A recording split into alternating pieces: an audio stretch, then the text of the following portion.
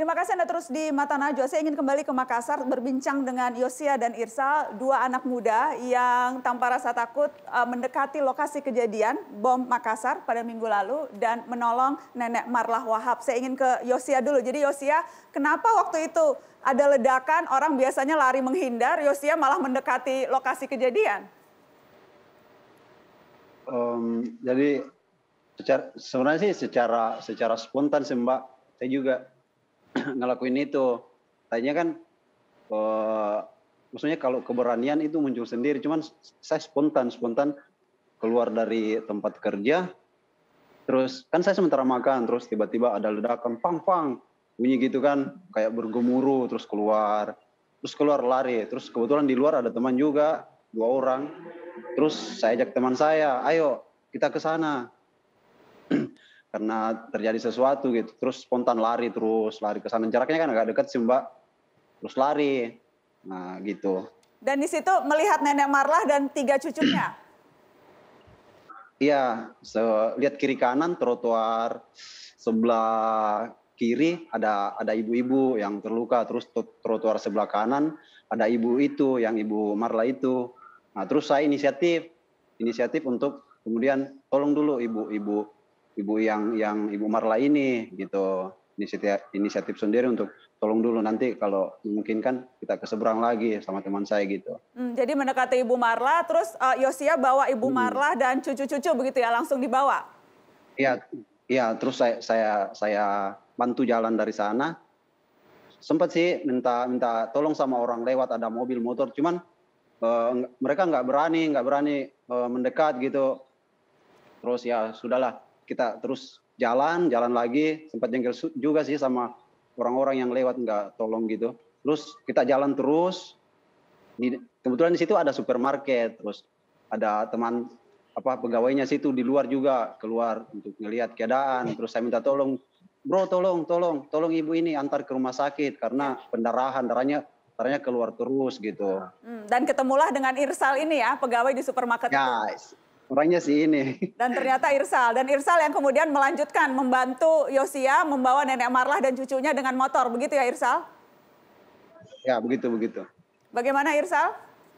Jadi naik motor bonceng iya, nenek ya, Marlah? Iya, naik motor bonceng nenek Marwah ke rumahnya dulu, terus ke rumah sakit. Hmm. Jadi di, di boncengnya bertiga kan Nenek Marla bawa bawa tiga cucu tuh. Dua motor. Iya, uh, dua motor. Naik dua motor. Karena ada iya teman saya juga bilang, "Ih, Ibu Marwa bilang e, ada cucuku." Bilang, "Oh iya, ambil mi dua motor, tak satu tak." Terus dibawa ke rumah Ibu Marla, terus dibawa ke rumah sakit Ibu Marla. Iya, eh, cucunya tinggal di rumah. Hmm, nggak ada rasa takut itu Irsal. Kalau yang lain mobil-mobil di stop nggak mau nolong, tapi Irsal malah bawa motor, bawa bawa nenek Marlah nggak takut? Enggak.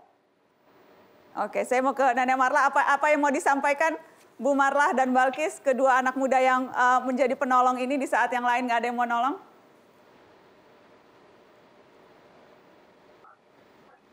Untuk, untuk Yosi dan Rijal, terima kasih atas pertolongannya ke Rumah Sakit Pelamonia.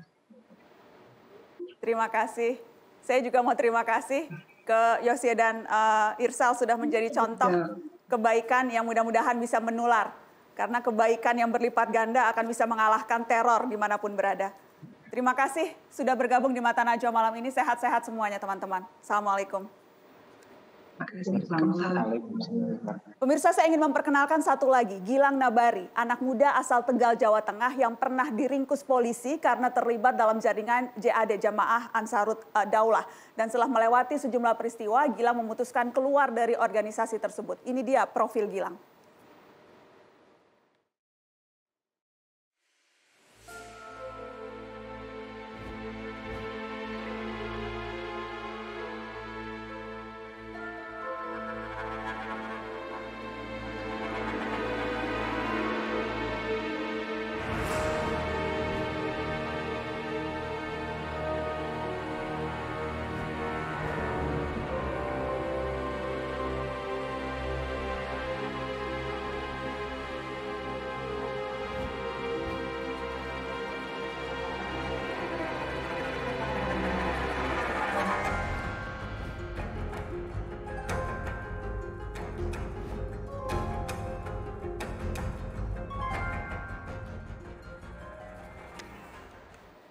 Dan sudah ada di Mata Najwa Gilang Nabari, mantan anggota JAD. Selamat malam Gilang. Selamat malam Mbak Nana. Terima kasih sudah bersedia hadir di Mata Najwa. Jadi Gilang ini baru bebas ya?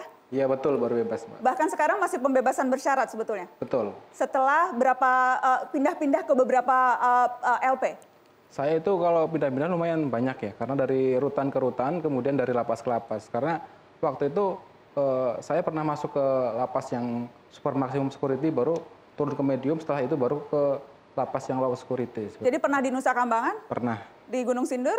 Pernah juga. Oke, jadi Ya. sudah melalang buana ke beberapa LP, Betul. sampai kemudian lolos pembebasan bersyarat, Betul. dan malam ini hadir di Mata Najwa untuk bercerita tentang JAD. Siap.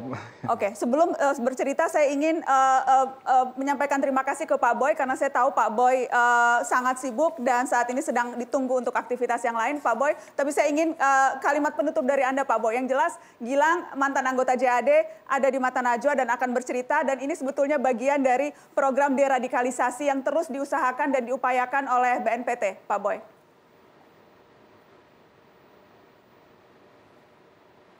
Eh, Pak Boy suaranya belum keluar, masih di mute mungkin?